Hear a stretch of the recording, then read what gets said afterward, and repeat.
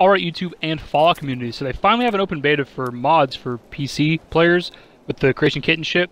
They have an art. They released an article as always, and I'll read over the article in a minute. But they also have a video on the article that's just kind of like everybody, like Todd Howard and others, talking about the creation kit and kind of showing stuff. They actually have a throwback to some horse armor, which is hilarious. They took like the, the whatever the toy horse is in Fallout 4, and it's kind of modded onto uh, some power armor. It looks kind of funny, and, just, and, they they named it horse armor. Thought that was pretty cool. Thought I'd throw that out there. I'll link the video below and the article below if I can. Anyways, let's get right into it. Mods and the, and the players who create them have always been an important part of our games, going all the way back to Morrowind and Elder Scrolls Construction Set. We believe that our games become something much more special when we put the power of creation in your hands. New quests, environments, characters, dialogue, outfits, weapons, and more. With mods, the possibilities of what you can do are endless. You're creating new experiences that enhance and take our games in amazing and surprising new directions. For Fallout 4, our goal was to make mods easier and more accessible than ever before, for both the creators and the players. By building an all-new system within Bethesda.net, we've made a huge leap forward in achieving that.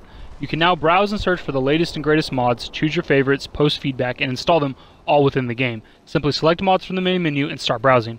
If you want to try making mods, and we think everyone should, the Creation Kit, the same tool that we use to create Fallout 4, is a free download via the Bethesda.net launcher. You can check out the Creation Kit wiki, our online documentation, and help file for more details and tips on how to make them. We plan to update and evolve mods and the Creation Kit based on your experiences, so be sure to leave feedback in our forums.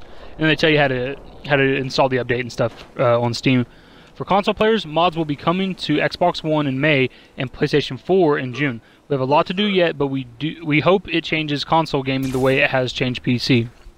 Finally, we'd like to thank all the modders who volunteered to be beta test the creation kit and mods during the closed beta. Your feedback has been invaluable and we couldn't have done it without you. For them and for all our players, we can't wait to see what you create. So the big thing here, besides the fact that they have an open beta now for the creation kit and all that shit, is that we got a release date window for consoles. We know that we're getting the creation kit in uh, May, which is the same time we're getting we're getting Far Harbor and May uh, in May, and we're getting the creation kit in May for Xbox One, and then PlayStation 4 will get in June. So it's kind of cool. I, I, I, like having a little bit of exclusivity because I'm an Xbox player when it comes to Bethesda, but at the same time, I wouldn't care. I, I would prefer that everybody got it at all at the same time that's whatever. Kind of cool. We got a little bit of a release date window for those things. If you're a PC player, definitely go and be a part of this open beta. Check out some cool mods. Make your own if you you know. Let me know. I'd like to know. I'd like to see some. If y'all if y'all have a YouTube channel and y'all upload things, upload some some beta creations if you're if you're a PC player. I'd definitely like to see what what like it's all capable of. What I can look forward to in the future. Later, guys.